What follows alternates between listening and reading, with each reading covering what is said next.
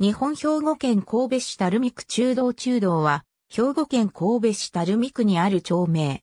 1丁目から6丁目がある。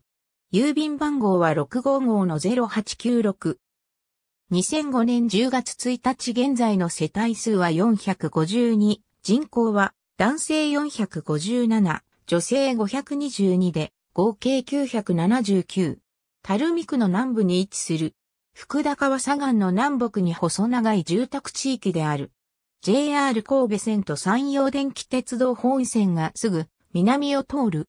東は山手、南は平磯、西は坂上、北は福田川を挟んで水穂通り、馬場通に接する。住居表示が実施されている。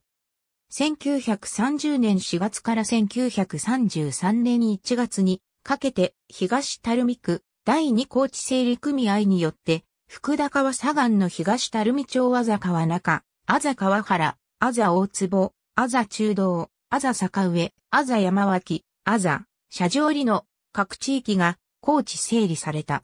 その総面積は6万1000坪であり、1万1700坪の道路が新たに整備された。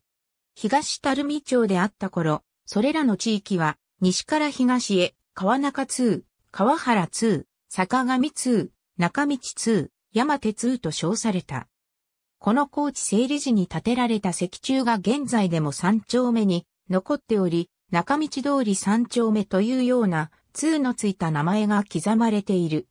1970年6月に住居表示実施とともに東垂水町あざ中道と寺大坪の一部より成立した東垂水町の障子中道に由来する段丘崖に沿っている東隣の山手と福田川に沿っている西の河原に挟まれた中間の地域であるところに由来があるという。